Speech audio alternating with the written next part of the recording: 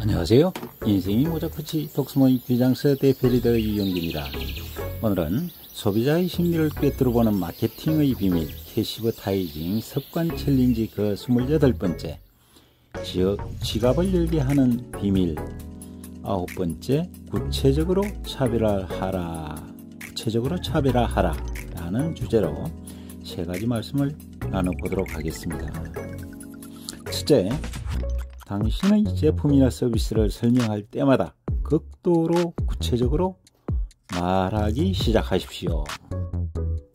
스스로에게 다음과 같은 내용을 물어보십시오. 우리 제품이나 서비스에 대해 시장이 전혀 모르고 있는 점을 어떻게 말할 수 있을까?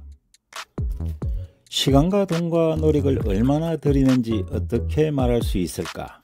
어떻게 해야 우리 제품의 주요 장점을 지적하고 사람들에게 경쟁사의 자질에 대해 의문을 갖게 만들 수 있을까라고 말입니다.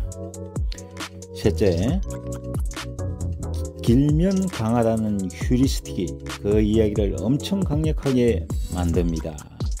다른 가게가 이러한 이야기를 거의 하지 않기 때문에 사람들은 그 이야기를 실제로 하는 가게를 어떤 식으로든 더 낫고 더 복잡하고 더 성공적이라고 판단합니다. 이 기법은 정말 강력해서 경쟁에서 주도권을 잡는 데 도움이 될 수 있습니다.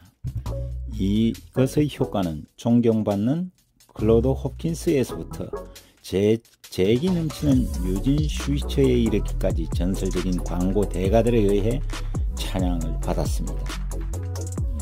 이것을 극단적 구체성이라고 부르는데 당신의 경쟁사들은 이를 써먹는 당신을 저주할 것입니다. 그래서 이 기법은 간단합니다. 오늘 이후로 당신의 제품이나 서비스를 설명할 때마다 극도로 구체적으로 말하기 시작하십시오. 특히 아무도 그렇게 하고 있지 않기 때문에 그 어느 때보다 더 중요합니다. 당신이 할 수 있는 가장 효과적인 일은 제품이나 서비스 사양을 잠재 고객에게 가르치는 것입니다. 당신의 제품이 적어도 경쟁사만큼 좋기만 하다면 잠재 고객은 일단 알기만 하면 당신이 제안하는 내용의 진가를 더 잘 알아볼 것입니다. 생각해 보십시오. 당신의 제품이나 서비스에 대해 사람들에게 어떤 흥미로운 이야기를 할 수 있는가?